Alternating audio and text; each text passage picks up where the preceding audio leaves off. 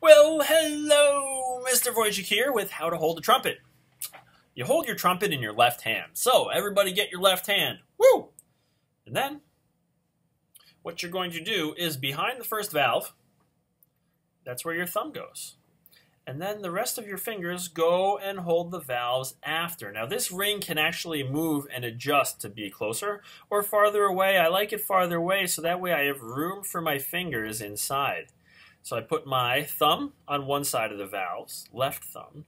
The other fingers go to the other side, my ring finger, and then my pinky kind of just hangs out because my hand is so big.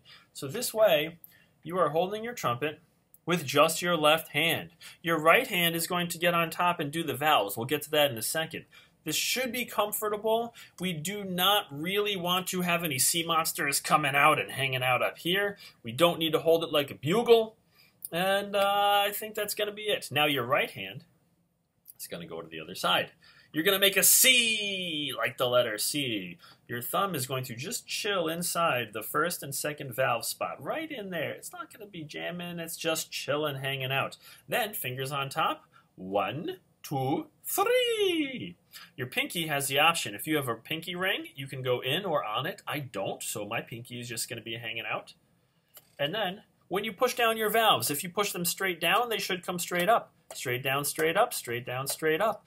That way, you're going to get them. If your hand flattens out, they're going to get stuck. So, you keep that good C, that good bear claw going right on top. And this, my friends, is how you hold a trumpet.